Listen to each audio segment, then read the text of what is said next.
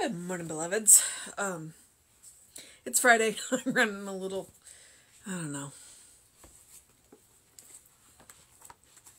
All right. And I believe it is December 17th.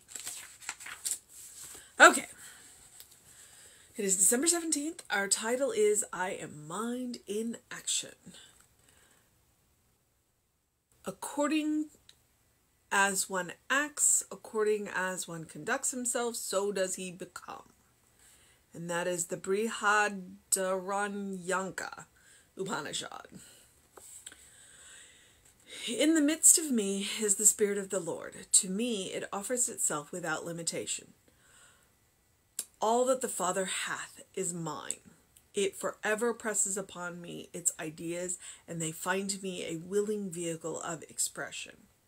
At every instant, I am urged to be my greatest self. At every instant, I am bidden to let God shine through as health, peace, creative self expression. The unlimited action of truth is the true source of my life. I see this, I know this, and act according to this. I let my mind be inspired by a wisdom greater than its present knowledge. I see ideas as the the cause of all experience, and control them to produce what I want. And when I want it, I am mind in action. Mind offers me all of its being. Every idea in the universe is available to me. What I need to know today is already offered to me. I now receive the ideas of God and give them welcome. I open the doors of my thinking and let divine inspiration flow into my mind. New vistas appear around me as new ideas are born within me. I have confidence. I have security. Nothing is withheld from me, and to me comes omniscience. I am conscious. I am consciousness knowing truth. I am the creative process through which God acts as mind. I am a thinker in a universal medium of, of mental law, and as such, I alone control my destiny. God wants me to be free, but I must accept God's ideas in order to be free. I now do this. I can do all things which I desire, for the ideas I need are already mine. My consciousness is inspired by the mind from which all things proceed. Unto me is given the greatness of spirit and the way of creative accomplishment. I deny all barriers to my success. God sees none, and I refuse to accept them. I join my thinking with the divine thinker and experience happiness here and now. All that I have sought is found. In me now is the answer to every question and the solution to every problem. I think clearly, act wisely, and let my good happen. Inspired by mind, I think success, peace, and prosperity. I am mind in action, for this is the inner meaning of the term child of God. And this I am named by God who created me. Well, if you wanted a statement of how what Ernest thought about life and himself uh, and the people around him, you just got it uh, mind in action.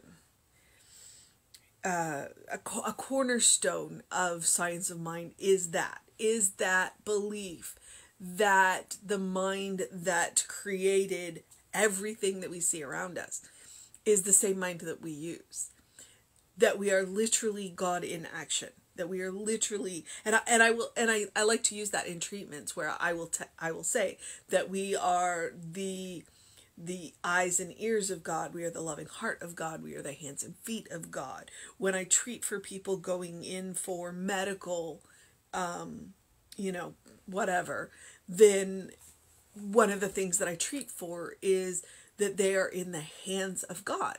That the surgeons and the doctors and the nurses and everybody involved in their care, their medical care, um, are literally the hands and the feet and and the wisdom of God that they have that that's flowing through them. Um, because I believe it's true. I believe it's true, but I also believe that it it never hurts to to say it out loud. It's like, all right, this is what I believe. Um, this is what I know. This is what I am speaking into the universe as as as my truth. Uh, and it's it's it's it's not just a comforting belief, you know. It's the truth, and if I know who they are and they know who they are, then the best is going to happen. So today we are mind in action. I am mind in action. And the the reading from the Upanishad is exactly that. According to according as one acts, according to as one conducts conducts himself, so does he become. It's like what we do and what we think is what we are. Um, what we believe we are is what we are. Why not believe better about ourselves? Why not believe better about ourselves? I think it's super important. So, in the midst of me is the Spirit of the Lord. To me, it offers itself without limitation. God will give you absolutely everything of itself. It is merely waiting on you to be willing to accept it. Um, and then the quote is, All that the Father hath is mine. All right, I believe that is a quote from Jesus. Um, I can't quote you the line though, so that would be Reverend Arthur.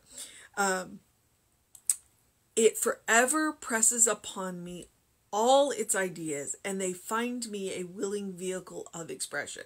So, God is constantly offering itself to us. Are we being the willing vehicles of that expression?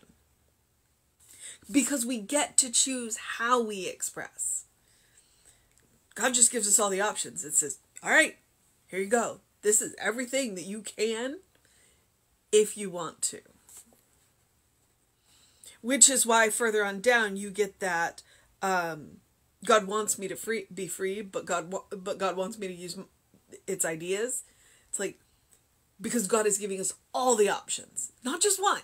so it's like you are free to choose from this infinite infinite variety of options, and that's why you get to choose your own destiny. So, yeah. All right, a willing vehicle of expression. At every instant, I am urged to be my greatest self at every instant. That's what God wants us to be the greatest version of ourselves.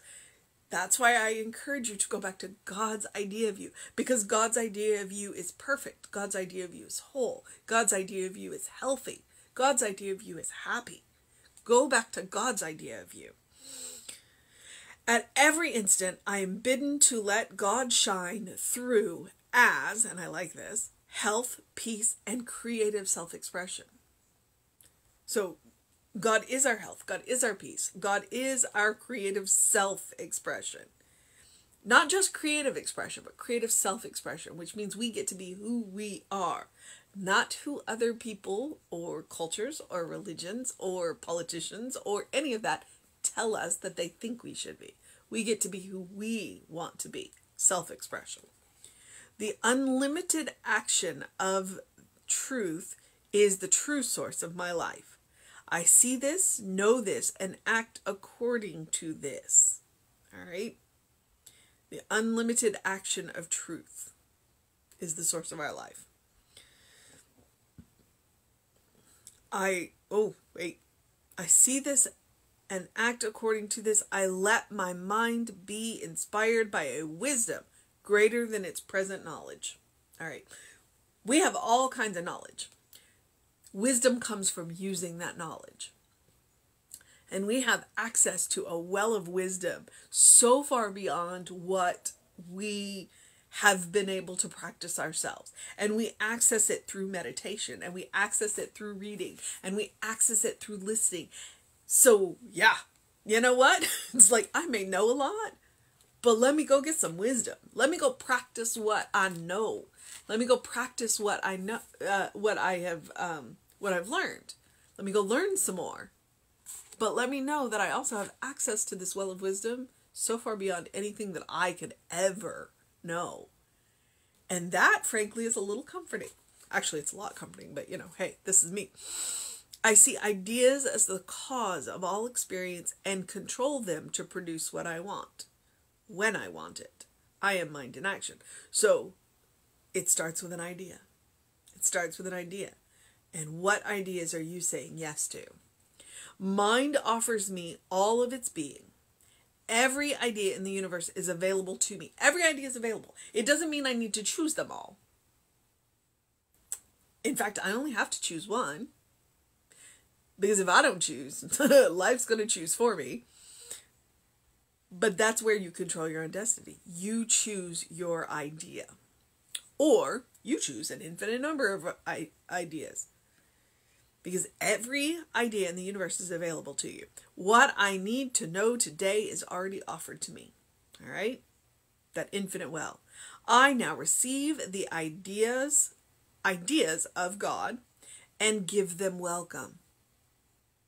Give them welcome. It's like God will present you with the ideas, but you have to accept them. I open the doors of my thinking and let divine inspiration flow into my mind. You want to know what the mission for today is? I bet that's it. New vistas appear around me as new ideas are born within me because new ideas open up new possibilities. I have confidence, I have security. Nothing is withheld from me, and to me comes omniscience. I am consciousness knowing truth. You want to know who you are? You are consciousness knowing truth. You are also a beloved child of God. I am the creative process through which God acts as mind. Go to a mirror, look yourself in the eye, and say that to yourself. And say that to yourself until you believe it. I am the creative process through which God acts as mind. You are the creative process through which spirit acts as mind. I am a thinker in a universal medium of mental law, and as such, I alone control my destiny. See right there, Ernest is telling us. Because we accept the ideas of God, we act on the idea of, of God, we control our own destiny. God wants me to be free. God wants us to be free. But we must accept God's ideas in order to be free. Now remember, I said there's an infinite variety. So you are not fated to one idea, you are not fated to one path. You have an infinite to choose from, which is why we're free. We are free to choose. Free to choose. So I do this now. I can be all things which I desire, for the ideas I need are already mine. Claim them. Claim them claim them before you know them and they'll you'll see them it's like yes this is what i'm after my consciousness is inspired by the mind from which all things proceed unto me is given the greatness of spirit the way of creative accomplishment and the way of creative accomplishment hmm. i deny all barriers to my success god sees none and i refuse to accept them God doesn't see the barriers. So if we deny the barriers, we will be given ways over them, through them, under them, around them, or they might just straight up disappear. Because sometimes the barriers that we're seeing are in our own minds. We are thinking ourselves out of doing things. We are talking ourselves out of doing them. The barriers are, you know, in our own minds.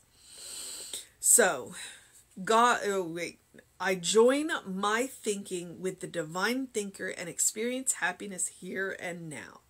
All that I have sought is found. In me now is the answer to every question and the solution to every problem. All right, let me repeat that line again because it's a really good one, especially if you are facing stuff that you're not sure what to do with. In me now is the answer to every question and the solution to every problem. And that's where we focus. We focus on the answers. We focus on the solutions. Although, don't get me wrong, I love questions. I love questions. Um, because when I ask questions, I learn stuff. Um, I think clearly, act wisely, and let my good happen. Okay? Let my good happen. Somewhere in this process, we got to let go of the control. We say what, and then we let Spirit deal with the how. So I let my good happen. Inspired by mind, I think success, peace, and prosperity. I think success, peace, and prosperity. This is what I'm focused on.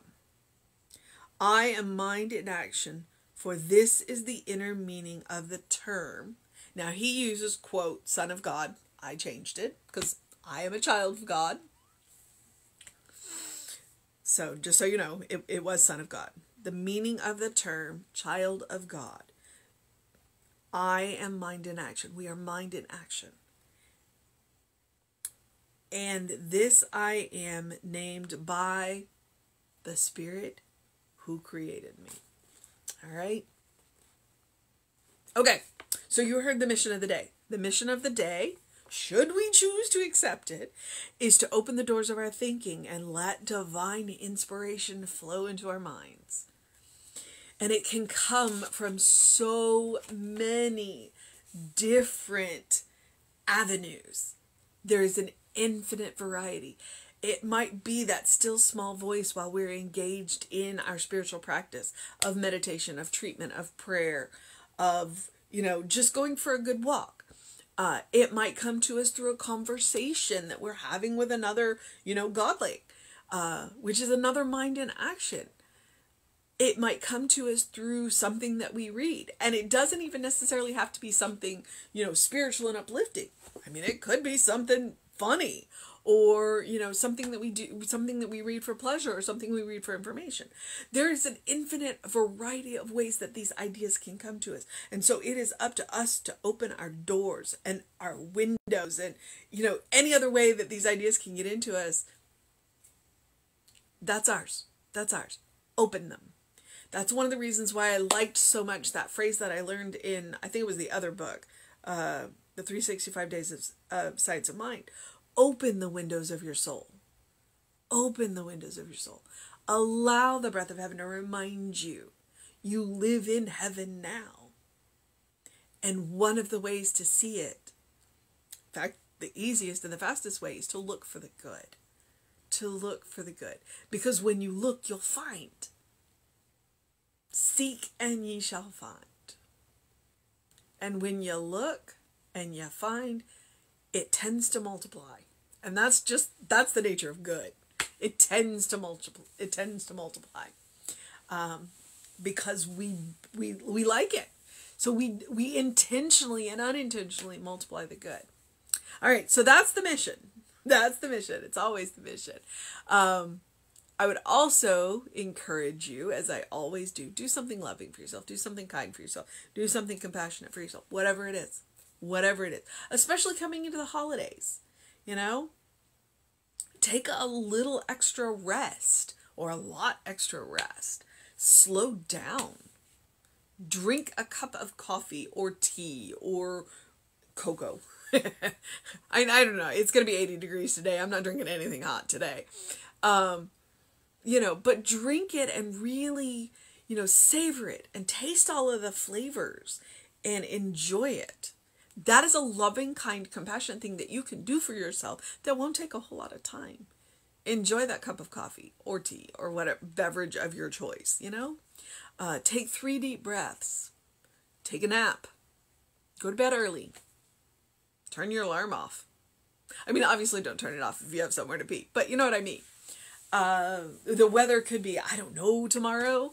So I told I told Thomas if the if the alarm is when the alarm goes off, it is raining. I'm turning the alarm off and going back to bed.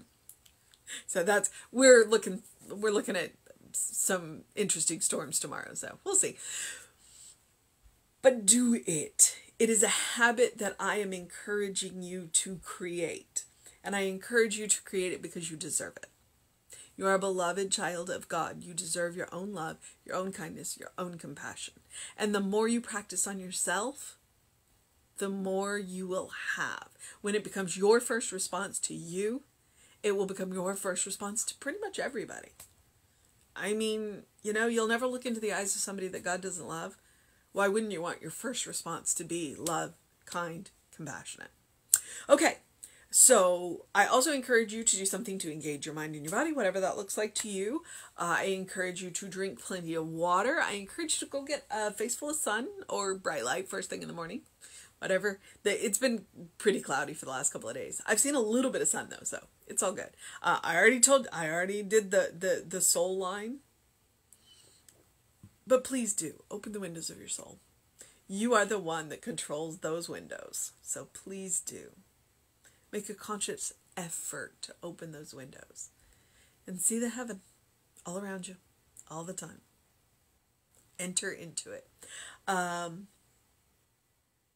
it's Friday. I'm not sure that there's anything going on. If you want to know for sure, email info at creativelife.org. That'll get you on the mailing list. And then you'll know what's going on when I don't. And uh, have a great day, an amazing day, a wondrous day, a wonderful day, a supercalifragilisticexpialidocious day. Uh, as one of the guys on TV that I, the morning show that I watch says, have a Friday. have a good day. And if that is too much pressure, simply have a day. Because you are enough just as you are, and you are loved. All right, beloveds, um, take care of yourself. Know that you are loved. Know that Reverend David will be on around 5 p.m. with you. I will be back with you around 9, 9 a.m. tomorrow. Uh, and check us on the social medias if you need us. There's all kinds of content on this, the Creative Life Spiritual Center YouTube and all kinds of content on the Running Rev Ryan YouTube. I know I'm a little bit behind. I'll catch up. All right, beloveds. Take care of yourself. Know that you're loved. I'll see you next time.